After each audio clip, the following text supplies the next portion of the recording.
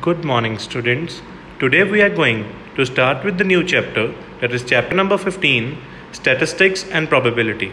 And in our today's video, we will discuss some basic concepts related to this chapter.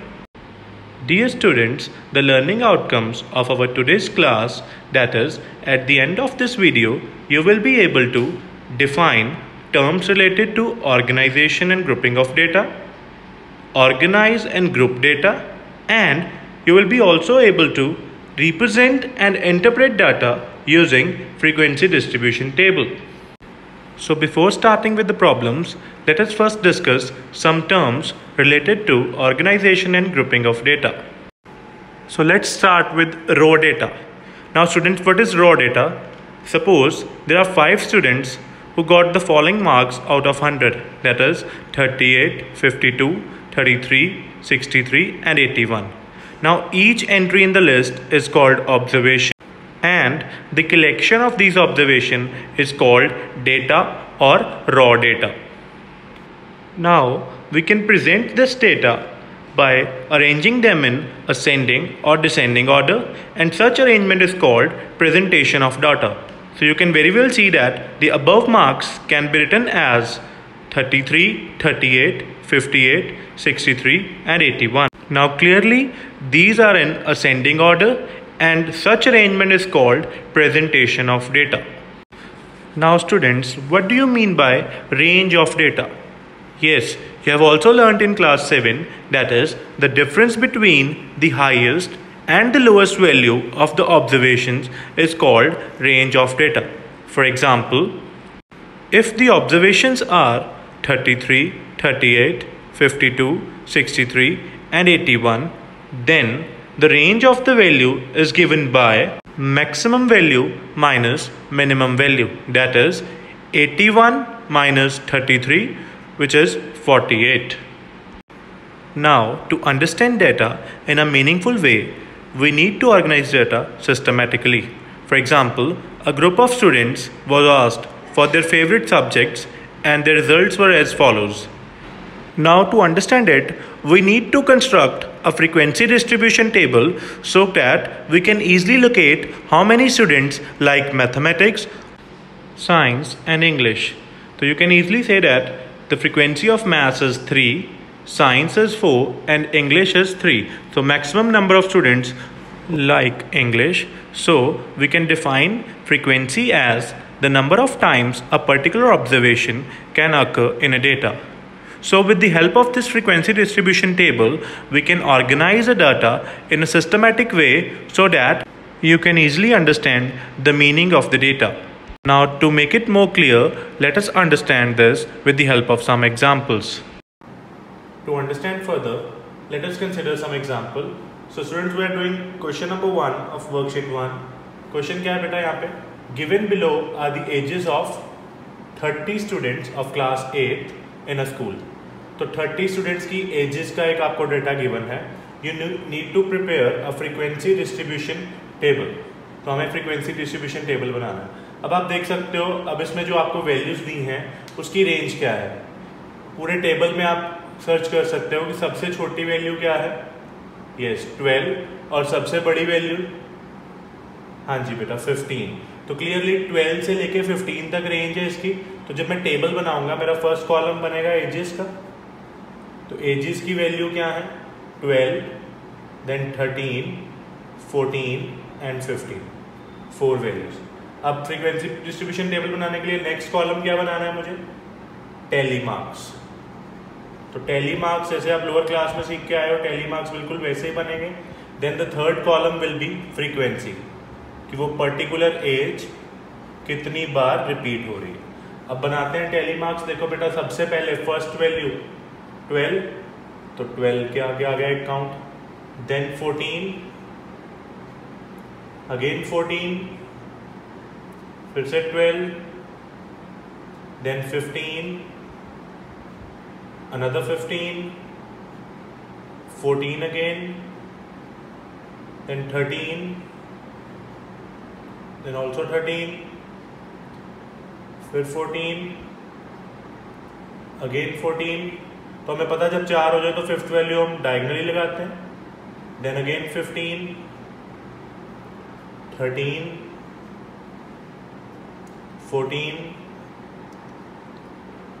और फिर से 14 तो ये मेरी फ़र्स्ट रो कंप्लीट हो गई. अब सेकंड रो 12 देन 14 13 अगेन 12 13 तो फिफ्थ वैल्यू फिर से diagonal 14 again 14 then 13 12 13 another 12 13 14 15 and one more 14 अब मुझे ये टेली मार्क्स को काउंट करके इसकी फ्रीक्वेंसी लिखनी है। तो 12 कितनी बार आ रहा है बेटा? One two three four five and six तो 12 की फ्रीक्वेंसी हो गई सिक्स सिमिलरली 13 का। One two three four five six seven eight eight times now 14 जो कि मैक्सिमम टाइम आ रहा है। One two three four five one, two, three, four, five. तो टेन हो गए, टेन प्लस टू, ट्वेल्व। और लास्ट में fifteen one, two, three, four. अब आप इस फ्रीक्वेंसी टेबल को टोटल करके चेक कर सकते हो कि मैंने जो टेबल बनाया वो सही है कि नहीं। Six plus eight fourteen fourteen plus twelve twenty six twenty six plus four thirty तो टोटल स्टूडेंट्स भी कितने थे क्वेश्चन में मेरे पास? थर्टी स्टूडेंट्स तो अगर आपका ये टोटल मैच नहीं कर रहा डैट मीन्स आपने टेबल में कहीं गलती की है।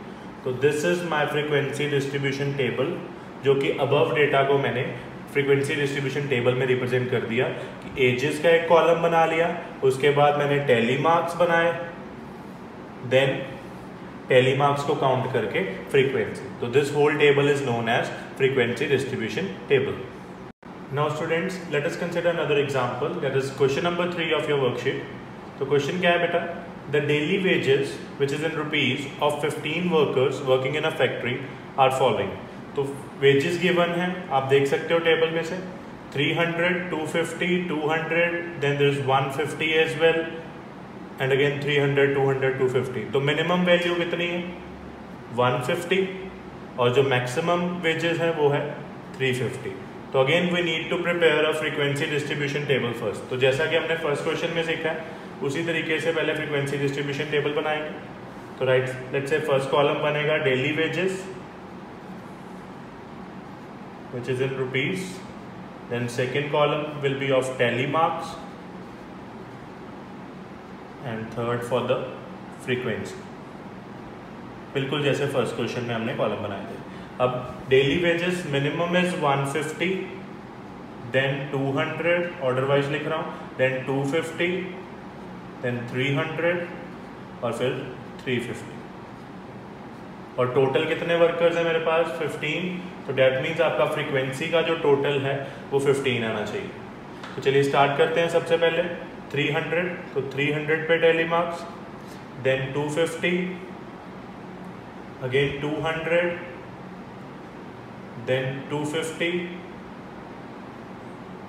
200 again 250 200 150 350 200 150 300 150 again 200 तो 200 ऑलरेडी फोर टाइम्स हो गया तो फिफ्थ टाइम देन 250 तो 250 वन मोर टाइम अब फ्रीक्वेंसी लिख लेते हैं.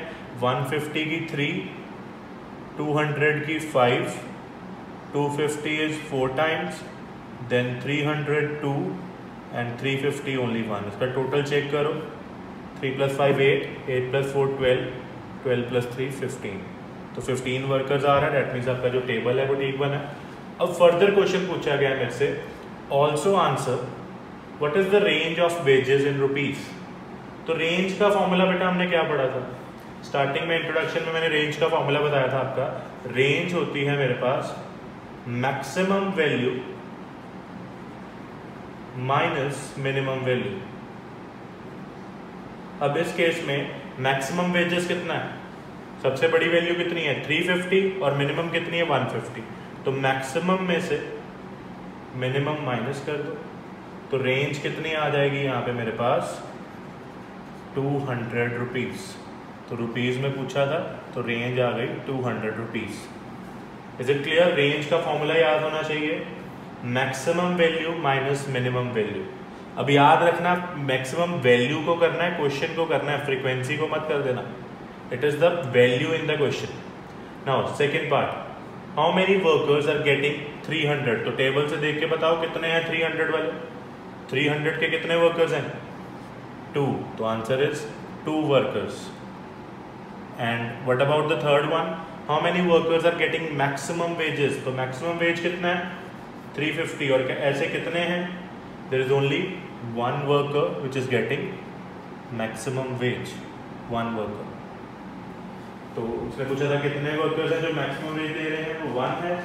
फ़र्स्ट पार्ट का answer range will be 200 then how many workers are getting 300 वो आप टेबल से फ्रीक्वेंसी देख के बता सकते हो 300 की कितनी है which is 200 and how many workers are getting maximum wages that is 350 value कितने वर्कर्स की है which is only one worker